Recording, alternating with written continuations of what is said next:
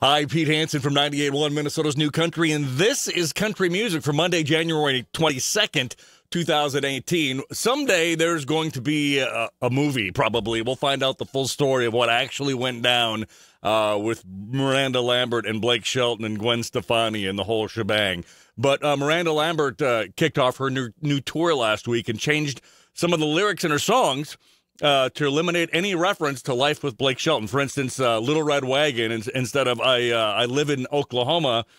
Uh, she changed that logo to I got the hell out of Oklahoma. She and Blake uh, lived there, spent a ton of time there while they were married, and uh, after their divorce, she got the hell out of Oklahoma and went back to Nashville. Anyhow, uh, you can see more about this and actually some video footage from her show and uh, the lyrics that we're talking about, the changes online at minnesotasnewcountry.com. You can also uh, download our mobile app and get it right there on your phone. The app is free in the App Store, Google Play. And as always, subscribe to our YouTube channel. Everything you need to know to do that is online at minnesotasnewcountry.com.